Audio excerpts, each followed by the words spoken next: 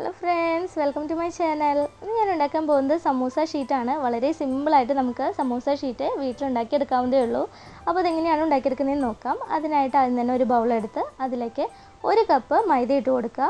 പിന്നെ അതിലേക്ക് വേണ്ടത് അര ടീസ്പൂൺ ഉപ്പും ഒരു ടേബിൾ സ്പൂണോളം ഓയിലുമാണ് ഓയിലിന് പകരം നിങ്ങൾക്ക് ബട്ടറോ നെയ്യോ ചേർത്ത് കൊടുക്കാം. ഇപ്പോൾ ഞാനിവിടെ ഒരു ടേബിൾ സ്പൂൺ ഓയിലാണ് ചേർത്ത് കൊടുത്തിട്ടുള്ളത്. ഇനി കൈ വെച്ച് നമ്മുടെ ഓയിൽ ഒഴിച്ചു കൊടുത്തിട്ടുള്ള ഓയിലും ഉപ്പും പൊടിയിൽ നല്ലതുപോലെ മിക്സ് ആവുന്ന വിധത്തിൽ കൈ വെച്ച് മിക്സ് ചെയ്ത് കൊടുക്കണം. അങ്ങനെ നന്നായി മിക്സ് ചെയ്തതിന് ശേഷം കുറേശ്ശെ വെള്ളം ഒഴിച്ച് നമുക്കിതൊന്ന് കുഴച്ചെടുക്കാം. അപ്പോൾ വെള്ളം ഒത്തിരി കൂടി പോകാൻ പാടില്ല. നല്ല സോഫ്റ്റ് ആയിട്ടുള്ള മാവാക്കി എടുക്കണം കുഴച്ചെടുക്കണം.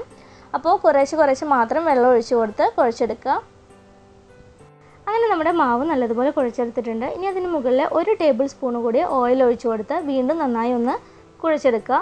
അപ്പോൾ ഇത് നല്ലതുപോലെ കുഴിച്ചെടുക്കുമ്പോൾ നല്ല പെർഫെക്റ്റ് ആയിട്ട് നമുക്ക് ഷീറ്റ് ഉണ്ടാക്കിയെടുക്കാൻ പറ്റും.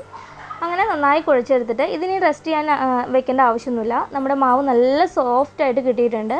ഇനി ഇതിൽ നിന്ന് നമുക്ക് ഒരു അഞ്ച് ബോൾസ് ആയിട്ട് ഉണ്ടാക്കിയെടുക്കണം. അപ്പോൾ ഞാൻ അഞ്ച് ബോൾസ് റെഡിയാക്കി വെച്ചിട്ടുണ്ട്. ഇനി ഓരോ ബോൾസ് വീതം കുറച്ച് കുറേശ്ശെ മൈദ ഒന്ന് സ്പ്രെഡ് ചെയ്തിട്ട് ഒന്ന് പരത്തിയെടുക്കണം. അപ്പോൾ ഒത്തിരി തിന്നായി പരത്തിയെടുക്കേണ്ട ആവശ്യമില്ല ആദ്യം തന്നെ.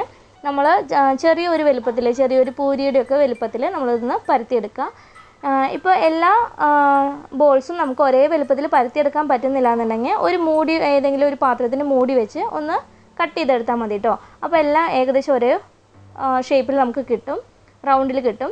അങ്ങനെ ഒരു ഷീറ്റ് ഇവിടെ പരത്തി എടുത്തിട്ടുണ്ട് അതുപോലെ തന്നെ ഞാൻ അഞ്ചെണ്ണം പരത്തി വെച്ചിട്ടുണ്ട് കേട്ടോ ഇപ്പോൾ ഏകദേശം എല്ലാത്തിന്റെയും വലുപ്പം ഒരേപോലെ ആയതുകൊണ്ട് ഞാനിത് കട്ട് ചെയ്യുന്നില്ല. അതിനുശേഷം ഒരു ഷീറ്റ് വെച്ച് അതിന് മുകളിൽ നല്ലതുപോലെ ഓയിലൊന്ന് സ്പ്രെഡ് ചെയ്ത് കൊടുക്കുക. എന്നിട്ട് അതിന് മുകളിലായിട്ട് ഓയിൽ പൊറ്റിയതിന് മുകളിലായിട്ട് കുറച്ച് മൈദ ഒന്ന് സ്പ്രെഡ് ചെയ്ത് കൊടുക്കണം. നമ്മൾ അടുത്ത ഷീറ്റ് ഇതിന് മുകളിലാണ് വെക്കുന്നത്. പൊട്ടി പിടിക്കാതിരിക്കാൻ വേണ്ടിയിട്ടാണ് നമ്മളിങ്ങനെ ചെയ്യുന്നത്.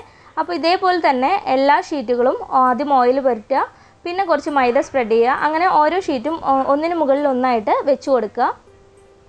അങ്ങനെ നമ്മളിവിടെ അഞ്ച് ഷീറ്റും ഒന്നിന് മുകളിൽ ഒന്നായിട്ട് വെച്ച് കൊടുത്തിട്ടുണ്ട്.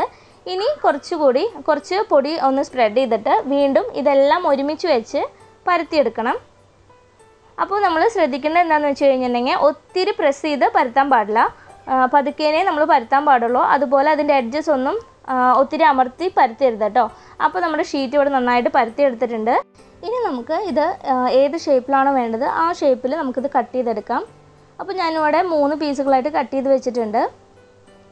ഇനി കട്ട് ചെയ്യാതെ നമുക്ക് പരത്ത നമുക്ക് ചൂടാക്കി എടുക്കണമെങ്കിൽ അങ്ങനെ ചൂടാക്കി എടുക്കാം അപ്പോൾ ഇനി നമുക്കിത് ചൂടാക്കി എടുക്കാൻ വേണ്ടിയിട്ട് ഒരു നോൺ സ്റ്റിക്ക് പാൻ വെച്ച് ചൂടാക്കി അതിന് അതിലേക്ക് നമുക്ക് ഓരോ ഷീറ്റ് വെച്ച് കൊടുക്കാം. അപ്പോൾ ഓരോ പീസ് വെച്ച് കൊടുക്കാം. അപ്പോൾ ഈ പീസ് വെച്ച് കൊടുത്തിട്ട് ലോ ഫ്ലെയിമിൽ ഇട്ടിട്ട് വേണം നമ്മളിത് കുക്ക് ചെയ്തെടുക്കാനായിട്ട്. ഹൈ ഫ്ലെയിമിലൊക്കെ മീഡിയം ഫ്ലെയിമിലൊക്കെ ആകുമ്പോൾ അത് കട്ട് ഭയങ്കര ഹാർഡായി പോവും. അപ്പോൾ നമ്മുടെ ഷീറ്റ് ഇവിടെ നന്നായി പാകമായിട്ടുണ്ട് അതിന്റെ കളറൊന്ന് ജസ്റ്റ് ചേഞ്ച് ആവുക വേണ്ടു. അപ്പോൾ തന്നെ അത് എടുത്ത ഒരു പ്ലേറ്റിലേക്ക് വെച്ച് ചെറു ചൂടോട് കൂടി തന്നെ അതിന്റെ ഓരോ ഷീറ്റുകളും ഇതുപോലെ വേർപ്പെടുത്തിയെടുക്കാം.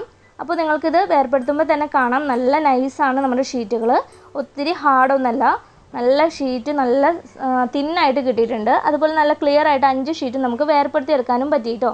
അപ്പോൾ ഇത്രയുള്ള നമ്മുടെ സമോസ ഷീറ്റ് എന്ന് പറയുന്നത് വളരെ സിമ്പിളാണ് ഉണ്ടാക്കിയെടുക്കാനായിട്ട്. വളരെ പെട്ടെന്ന് തന്നെ ഉണ്ടാക്കിയെടുക്കാനും പറ്റും. അപ്പോൾ നിങ്ങൾ എല്ലാവരും ട്രൈ ചെയ്ത് നോക്കുക. വളരെ തിന്നായിട്ടുള്ള വളരെ പെർഫെക്റ്റ് ആയിട്ടുള്ള സമോസ ഷീറ്റാണ് അപ്പോൾ നമുക്ക് ഇത് വെച്ച് സമൂസ നല്ല അടിപൊളിയായിട്ട് ഉണ്ടാക്കിയെടുക്കാൻ പറ്റും കേട്ടോ അപ്പോൾ സമൂസയുടെ റെസിപ്പി ഞാൻ മുമ്പ് ഇട്ടിട്ടുണ്ടായിരുന്നു. അപ്പോൾ അത് കാണാത്തവരുണ്ടെങ്കിൽ അതിന്റെ ലിങ്ക് ഞാൻ ഡിസ്ക്രിപ്ഷൻ ബോക്സിൽ കൊടുക്കാം. അപ്പോൾ നിങ്ങൾ കാണുക. നിങ്ങൾക്ക് വീഡിയോ ഇഷ്ടമായെങ്കിൽ ലൈക്ക് ചെയ്യാനും ഷെയർ ചെയ്യാനും കമന്റ് ചെയ്യാനും മറക്കരുത് കേട്ടോ അപ്പോൾ ഇതുപോലെ നമുക്ക് ഷീറ്റുകളൊക്കെ ഉണ്ടാക്കി വെച്ച് ഒരു ക്ലീൻ റാപ്പ് കൊണ്ട് കവർ ചെയ്തിട്ട് ടൈറ്റ് കണ്ടെയ്നറിലാക്കിയിട്ട് ഫ്രീസറിൽ വെച്ച് കഴിഞ്ഞാൽ ഒരു മാസം വരെയൊക്കെ ഇത് കേടാവാതിരിക്കും. അപ്പോൾ നിങ്ങൾക്ക് വീഡിയോ ഇഷ്ടമായെന്ന് വിചാരിക്കുന്നു. Thank you thanks for watching